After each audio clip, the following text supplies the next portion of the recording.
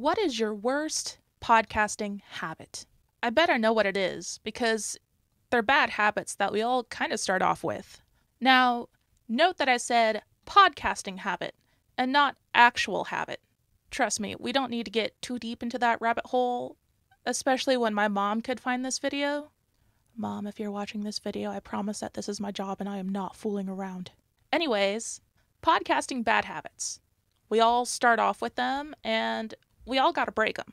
First off, rambling. We all jumped right in front of a mic and started rambling away without worry or care. We have thoughts to share, dang it. Hey, that almost rhymed.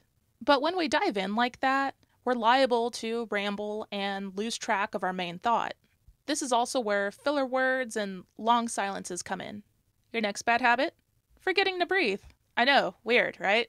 But trust me, when you're not used to public speaking or speaking with the intent of being heard, we get nervous. And when you get nervous, you forget how to breathe. Or because we've got so many thoughts to try to get out, like within a very short, finite amount of time, we try to cram it all in one breath and then end up breathing in really weird spaces. Trust me. I'm pretty sure that those who have seen me at Podcast Movement know what I'm talking about. The solution for all of these? Warming up. Flex your vocal cords. Take some deep breaths. Practice what you want to say before you say it.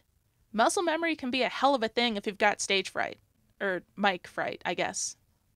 Is it still stage fright if there's nobody there to witness you? That's a question. So, what's your worst podcasting habit? Please don't be weird.